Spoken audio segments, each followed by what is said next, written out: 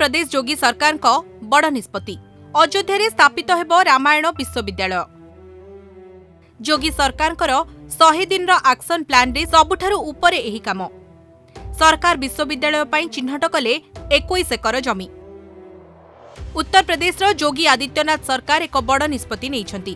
ଖୁବ୍ ଶୀଘ୍ର ରାମାୟଣ ବିଶ୍ୱବିଦ୍ୟାଳୟ ସ୍ଥାପନ କରାଯିବ। ମର୍ଯ୍ୟାଦା ପୁରୁଷୋତ୍ତମ ଶ୍ରୀରାମଙ୍କ ଜନ୍ମଭୂମି ଅଯୋଧ୍ୟାରେ ଏହି ରାମାୟଣ ବିଶ୍ୱବିଦ୍ୟାଳୟ ସ୍ଥାପନ କରାଯିବ ବୋଲି ଜଣାପଡ଼ିଛି। ଯୋଗୀ ସରକାର ମହର୍ଷି ବିଦ୍ୟାପୀଠ ଟ୍ରଷ୍ଟ ସହିତ ମିଶି ଏହି ରାମାୟଣ ବିଶ୍ୱବିଦ୍ୟାଳୟ ପ୍ରତିଷ୍ଠା କରିବେ। ଏଥିପାଇଁ ଯୋଗୀ ସରକାର ଅଯୋଧ୍ୟାରେ ଏକୋଇଶ ଏକର ଜମି ଚିହ୍ନଟ ମଧ୍ୟ କରିସାରିଛନ୍ତି। ଯୋଗୀ ସରକାର ଆଗାମୀ ଶହେ ଦିନ ମଧ୍ୟରେ କିଛି କାମକୁ ସର୍ବାଧିକ ଗୁରୁତ୍ୱ ଦେଇ କରିବାକୁ ଯାଉଛି। ସେହି କାମ ମଧ୍ୟରେ ଅଯୋଧ୍ୟାରେ ରାମାୟଣ ବିଶ୍ୱବିଦ୍ୟାଳୟ ପ୍ରତିଷ୍ଠା କରିବା ସବୁଠାରୁ ଆଗରେ ଅଛି ବୋଲି ଜଣାପଡ଼ିଛି। ରାଜ୍ୟର ପର୍ଯ୍ୟଟନ ଓ ସଂସ୍କୃତି ମନ୍ତ୍ରୀ ଜୟବୀର ସିଂ ଏହାର ସମୀକ୍ଷା କରିଛନ୍ତି। ସେ କହିଛନ୍ତି ଯେ ଖୁବ୍ ଶୀଘ୍ର ମହର୍ଷି ବିଦ୍ୟାପୀଠ ଟ୍ରଷ୍ଟ ସହିତ ଏ ସମ୍ପର୍କରେ ବୁଝାମଣାପତ୍ର ବା ଏମ୍ଓୟୁ ସ୍ୱାକ୍ଷରିତ ହେବାକୁ ଯାଉଛି।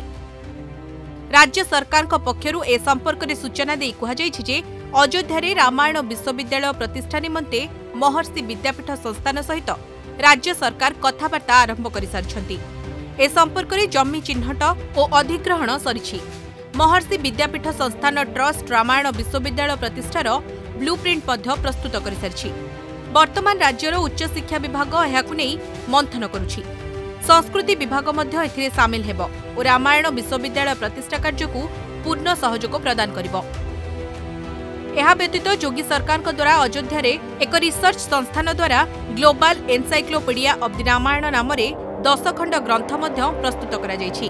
ଏହାର ଉଦ୍ଦେଶ୍ୟ ବିଜ୍ଞାନ ଓ ଆଧ୍ୟାତ୍ମର ଅନେକ ଦିଗକୁ ସାଧାରଣ ଲୋକମାନଙ୍କ ନିକଟକୁ ପହଞ୍ଚାଇବ ବୋଲି ସରକାରଙ୍କ ପକ୍ଷରୁ କୁହାଯାଇଛି। ଭାରତର ପୁଣ୍ୟତୀର୍ଥ ଅଯୋଧ୍ୟା ନଗରୀରେ ପ୍ରଭୁ ଶ୍ରୀରାମଙ୍କ ଜନ୍ମସ୍ଥାନରେ ଭବ୍ୟ ରାମ ମନ୍ଦିର ନିର୍ମାଣ ସହିତ ଯୋଗୀ ସରକାର ଏହି ନଗରୀରେ ଅନେକ କିଛି କରିବା ଦିଗରେ କାମ ଆରମ୍ଭ କରିଛନ୍ତି। ମର୍ଯ୍ୟାଦା ପୁରୁଷୋତ୍ତମ ଶ୍ରୀରାମଙ୍କ ନାମରେ ଏଠାରେ ଶୀଘ୍ର ବିମାନ ବନ୍ଦର ସ୍ଥାପନ ହେବାକୁ ଯାଉଛି। ସେହିପରି ଯୋଗୀ ସରକାର ଏଠାରେ ରାଜା ଦଶରଥ ମେଡିକାଲ କଲେଜ ମଧ୍ୟ ସ୍ଥାପନା କରିବାକୁ ଯାଉଛନ୍ତି। ଡକ୍ଟର ସମନ୍ୱୟ ନନ୍ଦଙ୍କ ଇନପୁଟ୍ ସହ ବ୍ୟୁରୋ ରିପୋର୍ଟ ଅର୍ଗସ୍ ନ୍ୟୁଜ୍।